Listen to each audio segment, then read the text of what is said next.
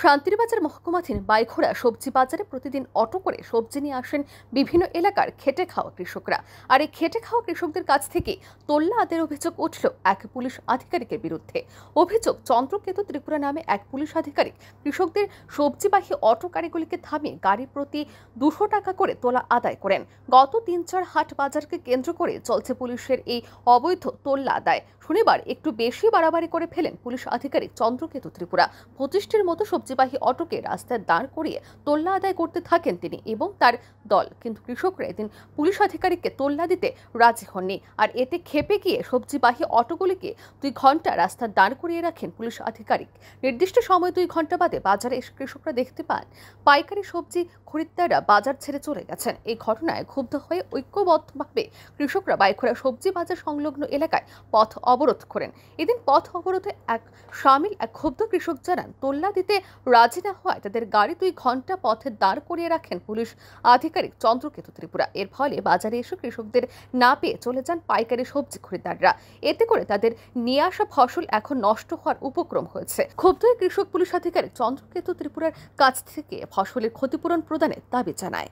করি ফসল ফলানোর পরে আমরা সকালবেলা ভোরে চারটার দিকে রাত্রে যাই মাঠ থেকে ফসলটা কালেকশন করে দিকে রওনা দিই।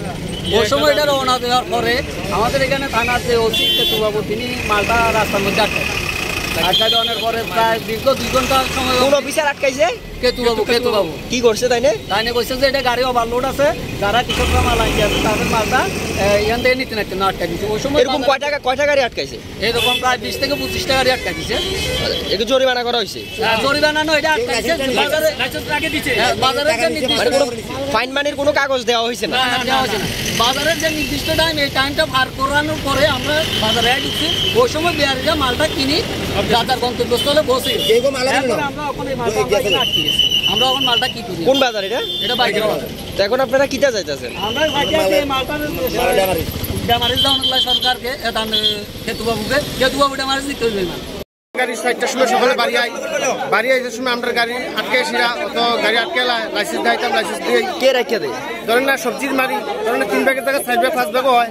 সবজি ড্রাইভার তো আমরা তো গাড়ি ড্রাইভার গাড়ি নিয়ে আইতে হয়। কে রাখিয়া দিছে? আজকে কি লাইসেন্স রাখিয়া দিছে? লাইসেন্স রেখে দেয় দুশো টাকা দিলে লাইসেন্স ছাড়ে নালি ছাড়ে না। কোন অফিসার রাখিয়া দিছিল? এটা হয়তো কেতুকুনি কি তাদের কয় এবার নাম এরপর আমরা শান্তিবাজার এখানেও আটকে এলাই চারটার সময় রাত হয় না তারা আইয়া থাকে রাস্তার ভিতরে।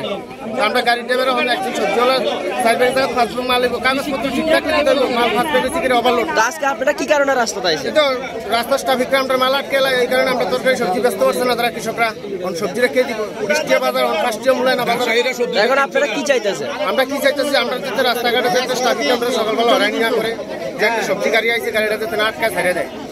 সড়ক অবরোধের ফলে অবরোধ স্থলে দুই প্রান্তে প্রচুর গাড়ি আটকে পড়ে। নিত্যযাত্রীরা সমস্যার সম্মুখীন হন। একটা সময় নিত্যযাত্রীরা ক্ষোভ প্রকাশ করতে শুরু করেন। পরিস্থিতির মোড় ঘোরার খবর পেয়ে ঘটনাস্থলে ছুটে যায় অন্য পুলিশ আধিকারিকরা। তারা ক্ষুব্ধ কৃষকদের সাথে কথা বলে ঘটনার তদন্ত করার প্রতিশ্রুতি দেন। পুলিশ আধিকারিকদের এই প্রতিশ্রুতি পেয়ে ক্ষুব্ধ কৃষকরা এদিন পথ অবরোধ মুক্ত করেন। Report, R E news.